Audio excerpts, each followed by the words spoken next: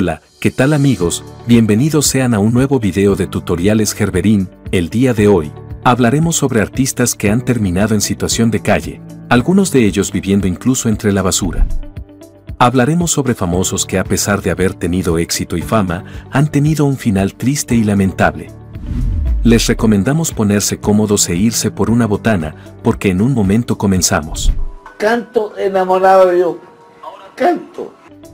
Antes de comenzar con el video, me gustaría recordarte que si no estás suscrito al canal, pues ahorita es el momento de hacerlo, ya que eso nos ayuda a seguir subiendo más y mejor contenido. Y no te olvides de activar la campanita, ahora sí, sin más preámbulo, comenzamos. Poseedora de una inconfundible voz, ella logró cautivar a toda una generación con sus canciones. Comienza a amanecer sobre la esfera del reloj. Y nuestra primera en la lista es una cantante paraguaya brasileña. Ella inició su carrera a principios de la década de los 70 y alcanzó mucho éxito y fama.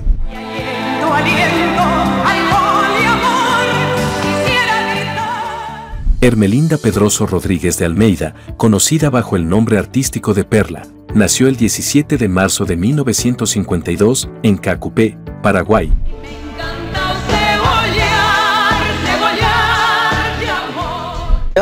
E então, é, vou me virando assim, botei o espelho grande.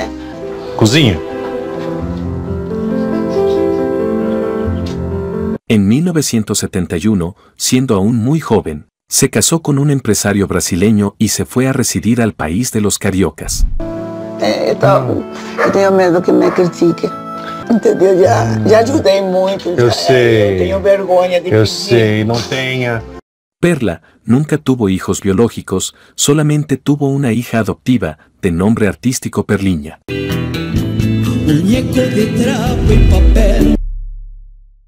Estando en Brasil, cosechó sus más grandes éxitos, pero en un reportaje especial de la cadena de TV brasileña, Red Record, se reveló la difícil situación por la que atraviesa la cantante.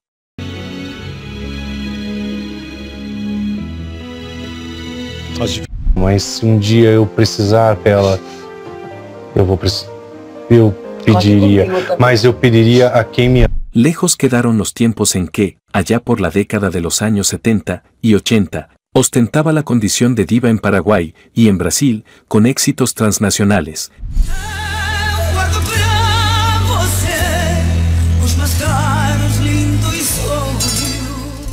En esa época, vendió unos 10 millones de discos y acumuló certificaciones de discos de oro y platino. Blusita que tengo todavía la pollera, yo hice de vaquero. Y así enamoraste los escenarios de Brasil. Sí.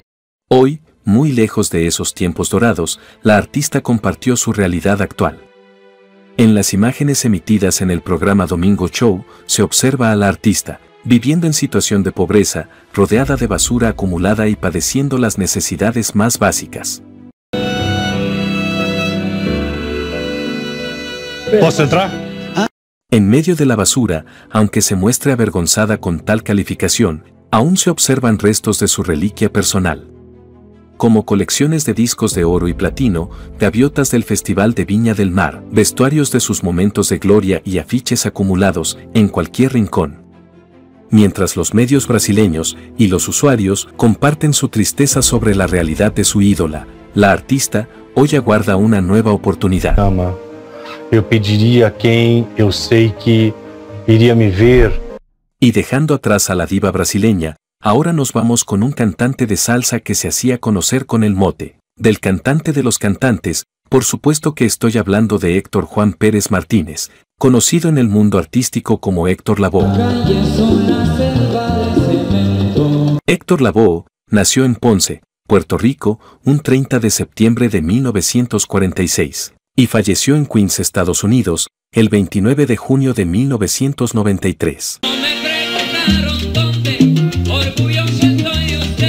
Desde 1967 hasta 1974, estuvo integrado en la orquesta de Willy Colón, con la que cosechó grandes éxitos como Aguanilé. También formó parte del elenco de la orquesta salsera Fania All Stars, desde su creación en 1968 hasta sus últimos años de vida. Tu amor es un periódico de La Bo también es conocido como el rey de la salsa y fue uno de los artistas principales del sello. Fania Records, así como de la Fania All Star. Negroide, que se prendió en la costa del Perú hace muchos años, nos hace ser muy aficionados a la música tropical. ¿Sabe? Con ellos grabó varias canciones tales como Mi Gente, El Rey de la Puntualidad y más temas que salieron en el disco recopilatorio Fania All Star with Actor santos En su carrera como cantante solista, obtuvo grandes éxitos, discos de oro y platino. Es recordado por su éxito, el cantante, Juanito Alimaña y Plato de Segunda Mesa, solo por mencionar algunos. Vamos a bailar la murga, falleció en 1993 a los 46 años de edad, víctima de un paro cardíaco causado por complicaciones de la terrible enfermedad que había contraído, virus de la inmunodeficiencia humana. Al momento de su fallecimiento, Labo había sido abandonado en una profunda soledad y pobreza. ¿Qué te corre? ¿Por qué? Me trajo mucho dinero y buenas cosas, mi mujer y todo, mi hijo. Me para siempre en las calles. Debido a que David Lugo había logrado que el mismo Labo le firmara un poder, en donde le confería las ganancias de sus regalías discográficas, aprovechándose de su debilidad mental a causa del estado en que lo mantenían las sustancias. Con él mucho tiempo, mucho. Él y yo, solamente él y yo. Y yo dije, yo no puedo dejar.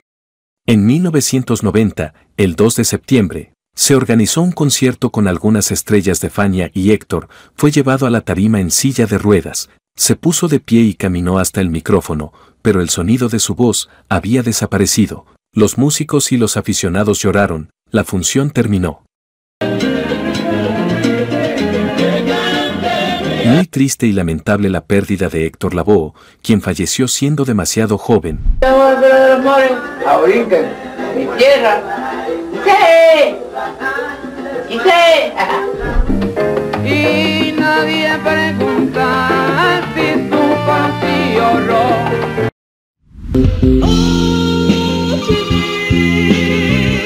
Y de este cantante de los cantantes nos pasamos a hablar sobre uno de los vocalistas del famoso grupo, Los Ángeles Negros, estoy hablando de Enrique Castillo, quien fue el tercer cantante del grupo.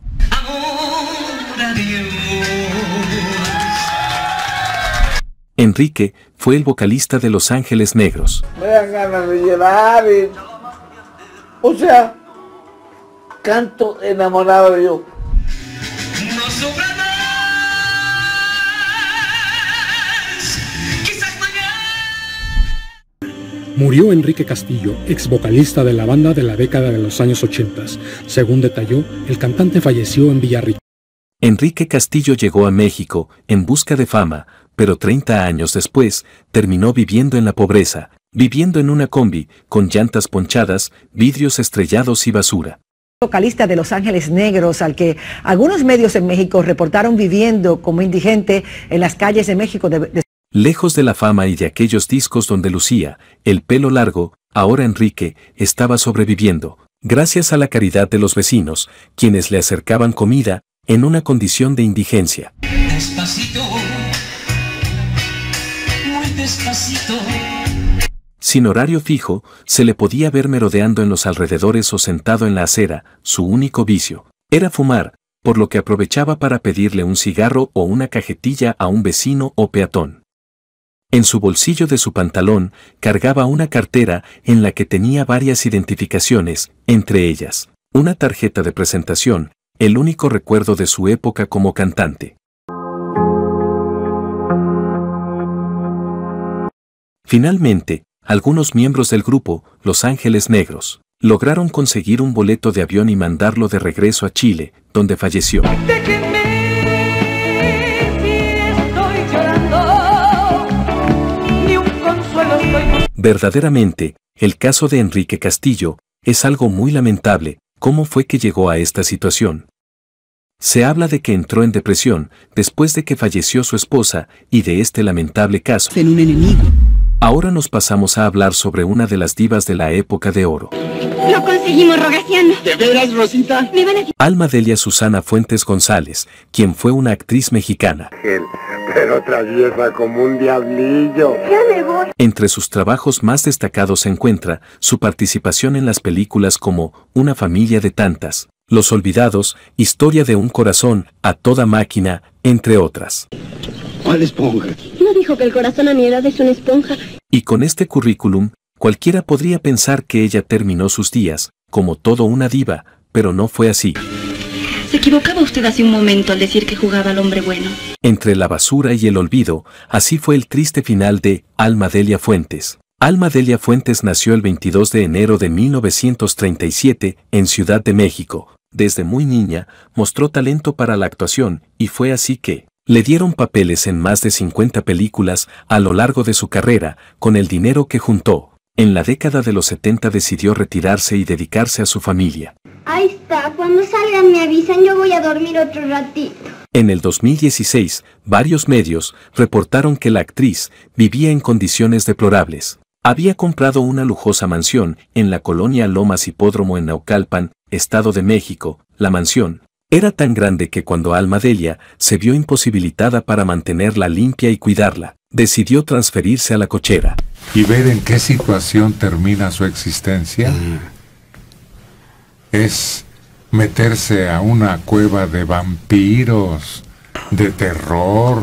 Dormía en la habitación que alguna vez fue de su chofer rodeada de basura. Sus vecinos eran quienes la alimentaban y cuidaban, ya que sus hijos vivían sus vidas lejos de ella. Alma Delia ya solo contaba con la compañía de sus dos gatos, una perrita y un perico, había sido olvidada. ¿Por dónde empezamos, jefe?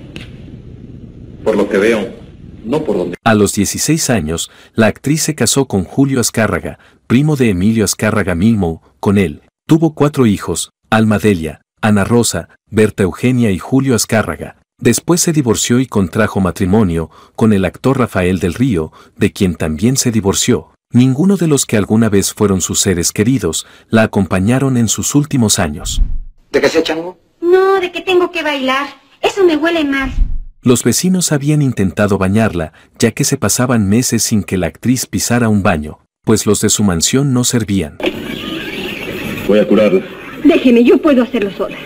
Finalmente, el 2 de abril del 2017, se anunció la muerte de Alma Delia Fuentes, quien falleció a los 80 años de edad debido a sepsis y osteomielitis, ambas enfermedades infecciosas, que se agravaron por las condiciones en las que vivió. Y del triste caso de la diva de la época de oro, Alma Delia Fuentes. Nos vamos a hablar sobre el ídolo de las multitudes, el músico chiflado, claro, estoy hablando del gran Rigo Tobar. Alejado de familiares y amigos, sumido en una decadencia personal y artística pocas veces antes vista. Rigoberto Tobar García, más conocido como Rigo Tobar, fue un cantante, actor y músico mexicano. Rigo Tobar nació el 29 de marzo de 1946 en Heroica Matamoros, México.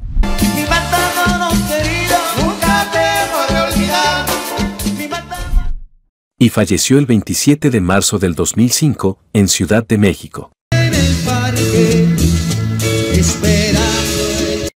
El intérprete de Perdóname mi amor por ser tan guapo murió de un paro cardiorrespiratorio, poco antes de su cumpleaños número 59.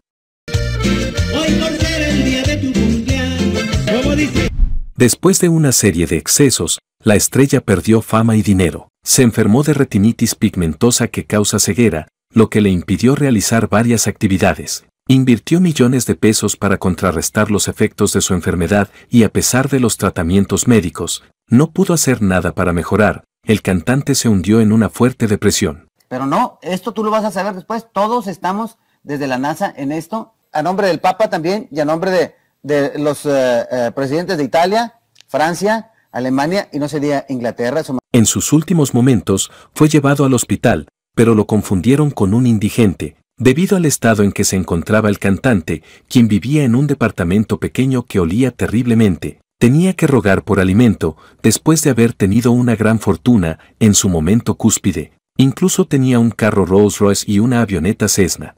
comprado un avión y casi todas las, las giras A pesar del éxito que tuvo durante décadas, murió lejos de los escenarios y de los receptores de la televisión, pues 1995 le dijo adiós al ambiente musical. Es decir, pues una gran satisfacción. Sigo teniendo muy buenos logros y mucha satisfacción. Creo que puedo... Tuvo más de 10 hijos, regados por todos lados. A mis hijos. Sí. A Christopher, a Sara, a Gibran, Elvia, María Luisa. Algunas fuentes dicen que exactamente son 16 y el día de su velorio, distintas mujeres se presentaron a reclamar su parte de los bienes del cantante, pues mantuvieron relaciones sentimentales con él. Y del ídolo de las multitudes, nos vamos a hablar sobre una famosa actriz que pasó de Televisa a las calles, la triste historia de la famosa actriz, Renata Flores.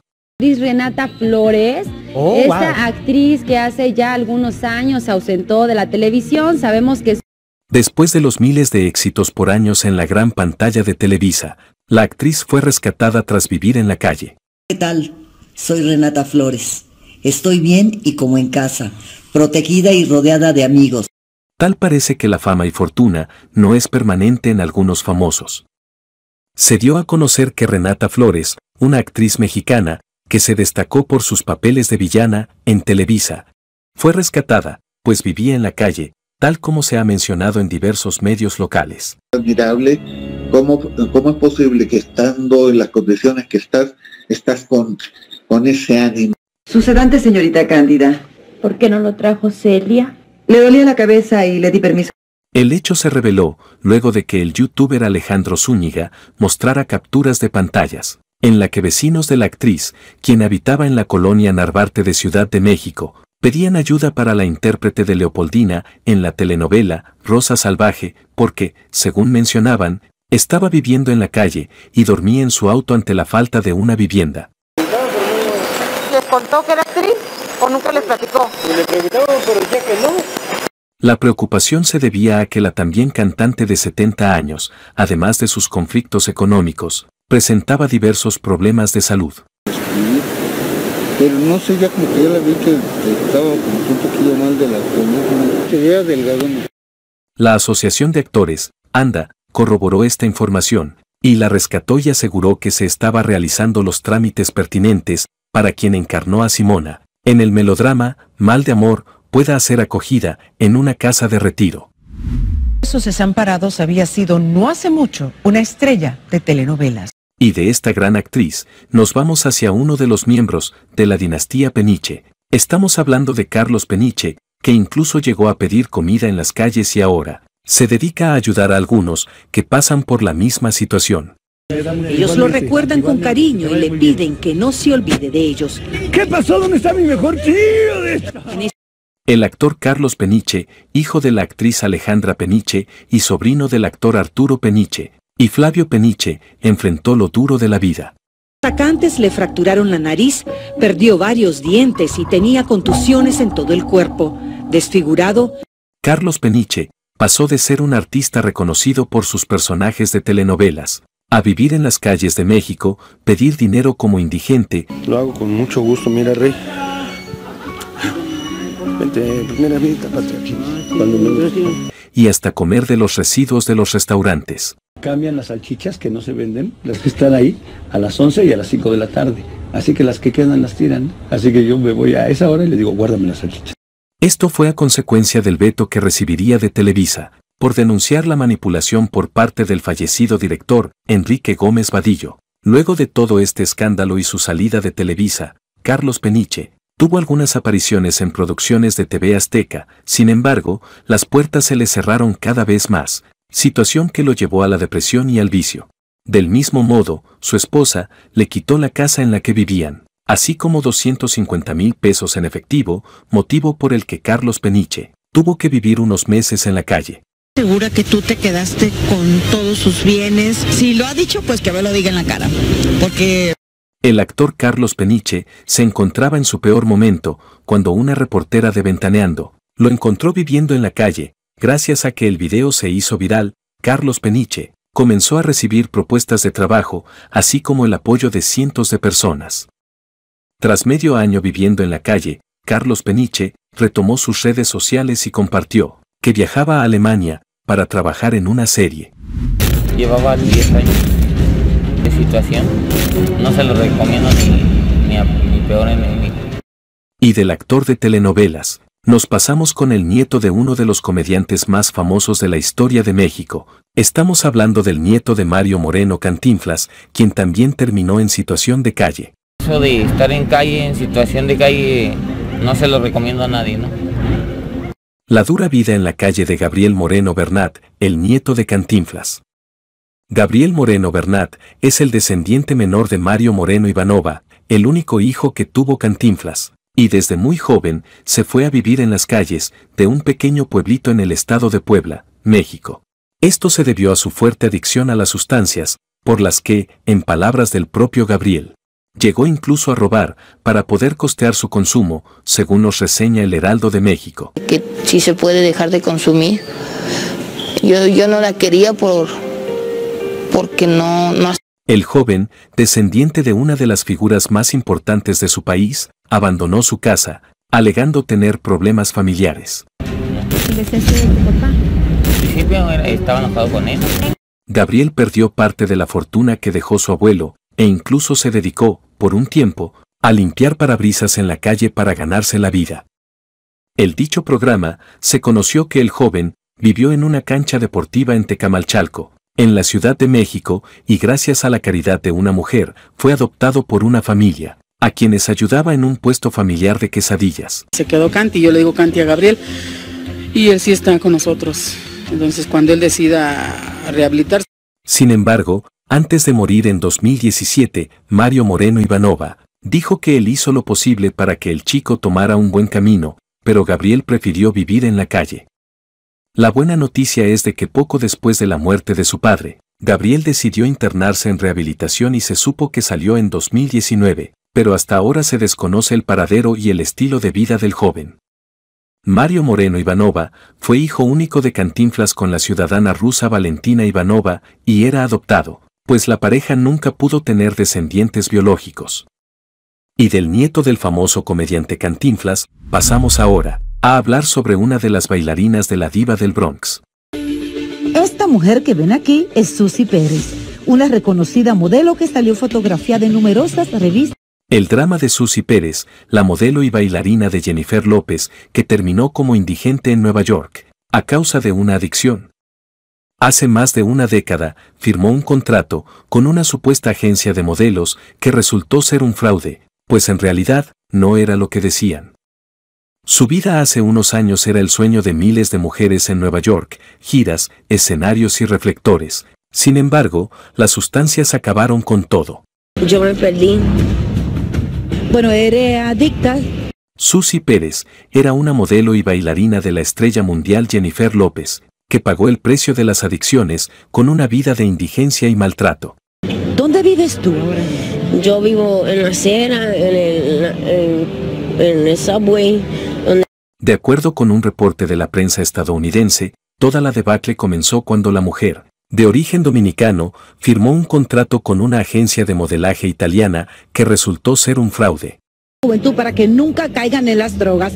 Cabe mencionar, como le dije anteriormente, ella es mitad dominicana y mitad puertorriqueña. Del glamour de la farándula al frío de las calles y de los lujosos almuerzos con agentes y celebridades, pasó a comer de la basura. Una reportera la encontró de manera casual a Pérez en las calles de Nueva York. Después de dar a conocer la noticia, a Susie la reunieron con su hijo de 19 años, a quien no veía desde los 7 años. Mi amor, mira lo que yo te traje. Mira. La noticia la alteró y la llevó al hospital. Helena Solano, quien trabaja para el programa de Univisión, El Gordo y la Flaca, contó que se sorprendió al ver desde la ventana de su carro a una mujer que le pidió 20 pesos. Su rostro le pareció familiar. Susy Pérez era una reconocida modelo, que nació en República Dominicana, su fama empezó en el año 2000, cuando participó en un video de la diva del Bronx, Jennifer López. Además, participó con el rapero y productor musical Puff Daddy. Una lucha muy importante contra una enfermedad fea. Y por último tenemos a un músico argentino, quien también fue encontrado en situación de calle. Gustavo Mario Basterrica, guitarrista de Los Abuelos de la Nada. Gustavo nació en Buenos Aires el 24 de junio de 1955. Es un músico y compositor argentino. Me dieron tres meses de vida, eh, raro. Compañero de grandes músicos como Charlie García y Luis Alberto Spinetta. El músico se encontraba desaparecido sin rastro alguno, hasta que el 31 de diciembre del 2021 fue aparecido de forma sorpresiva en redes sociales. años, a mi mamá se le dio por morirse y me quedé un poquito... Aquel día, el músico había sido encontrado en un deteriorado estado de salud, con una visible dificultad para caminar y presuntamente en situación de calle. Emiliano Bustos fue el joven transeúnte que le ofreció el techo de su casa hasta que se pudiese recuperar. Anda, dice la baraca, eh, gracias a ella estoy vivo. No sé por dónde empezar, me crucé hace unos días con este señor en un cajero automático. Escribió Bustos en Facebook.